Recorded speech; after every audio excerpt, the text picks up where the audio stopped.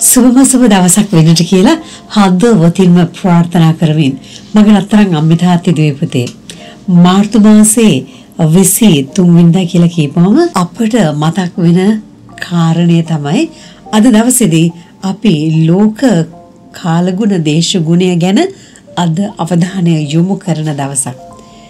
ඉස්සර කාලේ අපි දන්නවා වැස්ස තියෙන්නේ වැස්ස එන්නේ කවදද?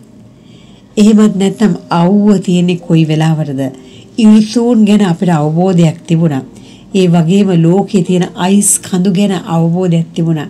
අද මොකද වෙලා තියෙන්නේ ලෝකයේ කාල ගුණයට දේශ ගුණයට හරියට වෙනස් වෙන්න පටන් අරගෙන අපි හරියට පුද්ගලයන්ටත් කියන වෙනස් වෙන පුද්ගලයෝ අපේ ජීවිතේ මොන ගියම කියන ඔයත් නිකන් හරියට කාලගුණය දේශගුණය වගේ කියලා.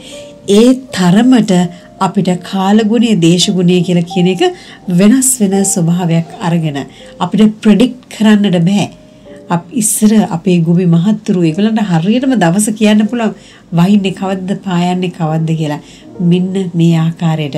ඉතින් මගේ රත්තරන් අම්මි තාත්ති දුවේ අපිට පුළුවන් නම් අපේ හදවතින්ම කාලගුණය දේශගුණය වෙනස් කරන සාධකවලට අපි අතහිත දෙන්නේ නැතුව පුළුවන්ම තරම් විනාශ වෙලා යන මේ කාලගුණය දේශගුණය වෙනස් වෙලා යන කාලගුණය දේශගුණය වෙනස් නොකරන්නට අපිට සිතුවිලි වලින් දායක වෙන්න පුළුවන් නම් අපේ ක්‍රියාවෙන් දායක වෙන්න පුළුවන් නම් අපේ හැසිරීම් රටාවල් වලින් දායක වෙන්න පුළුවන් නම් ඒක මහා සේවයක් කියලා අපි අද දවසේදී අදිටත් කරගමු.